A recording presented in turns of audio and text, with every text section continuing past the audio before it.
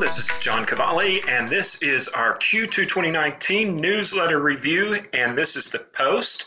We are still in the middle of tax season, so you don't get the fancy intro, but here is the actual post for the uh, newsletter. And I'm going to do something a little different this time just to kind of change it up. And we're going to roll over here to the actual newsletter itself and go over a few items um, so I can keep in the format of the way I did the blog post. I will start out with uh, updates on the capital markets a little bit, and then we will uh, we'll discuss a few things. Let me scoot this over just a little bit. Here we are.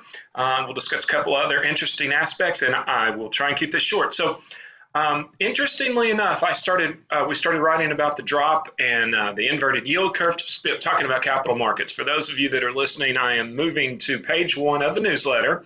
I showed the original blog post, and now I'm at the uh, page one of the newsletter, and I'm going to jump on through the article. Uh, so it's a it's a blown up picture here for those of you that are watching.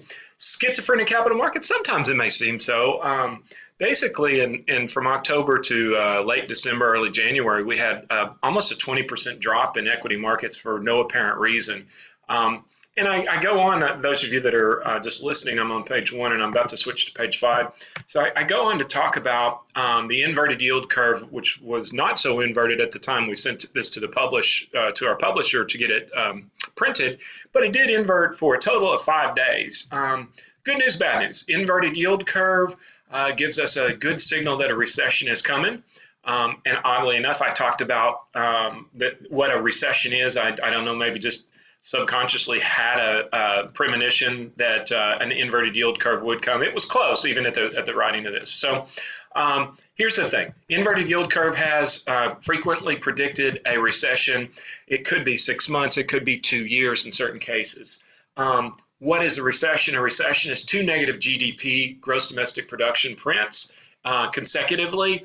And um, it basically means that the economy is slowed. As I go in uh, to this article, those of you that are still listening, I'm on page five. As I go into the depth of this article, um, the we have the tax stimulus and just a red hot global uh, market, and that really picked up things in basically 2017 and, and mid 2018 and then we started slowing down. And just what I say in the article, just like a, uh, a runner who runs, uh, starts too soon, he may have to slow down. So it is our thinking that um, we may just be uh, experiencing a slight slowdown, and it may it may look like a recession, but nothing uh, to the um, um, to the effect of what we've had in the past.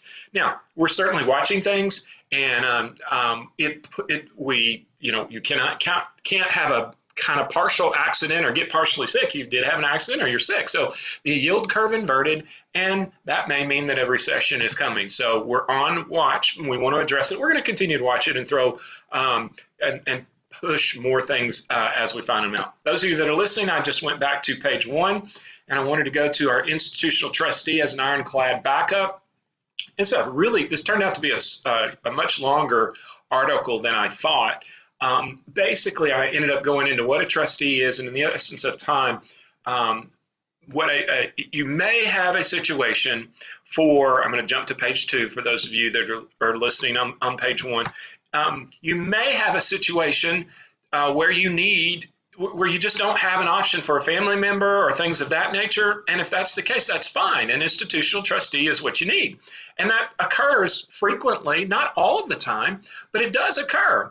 Um, and when it when it occurs, um, it's nice to know that you have an option. Uh, way back when, there weren't a lot of options. Um, mostly, uh, it was it was um, uh, just given to banks and things of that nature. Now, today, this this neat net agent um, of uh, basically very streamlined uh, um, events.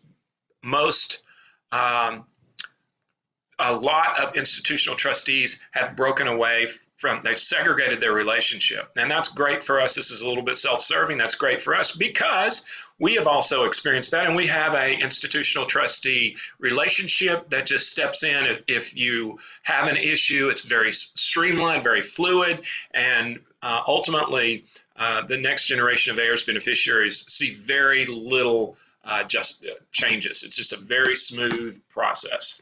So um, I'm going to go back here to Um, actually, I'm going to move up to page four. Those of you that are listening, jumping around a little bit. Um, here's a, a, fantastic article, um, and it, it, in the essence of time, again, it's basically being careful to designate your beneficiary. I want one thing to get across in all of this fancy language. If you put the incorrect beneficiary on a document that has a spot for a, a beneficiary, no matter what your will says, no matter what other items say, it will not listen to them. So you've got to make sure you get it right.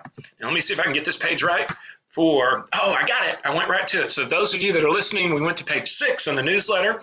This was a most amazing report. Cerulli report confirms that they don't want your 401k money once you leave the, the uh, company. In the, I outlined a couple of the bullet points that we've experienced over the year, but this was stunning. Um, I actually tried to get that Cerulli report, and they wanted something like fifteen thousand dollars, and I was like, no, no, no, no, no. Um, but ultimately, we have run into situations, not all, but we've run into situations where uh, people have um, left the company and suddenly they've received different phone numbers, they've received much less service. And this is why we've, we've wondered why that happened. The paperwork gets lost, it's slower, less options, blah, blah, blah. It makes sense, but we were surprised to see this. Uh, again, if you're having trouble with, uh, if you've left a company and you um, can't figure out why you're not getting good service, this is likely the reason.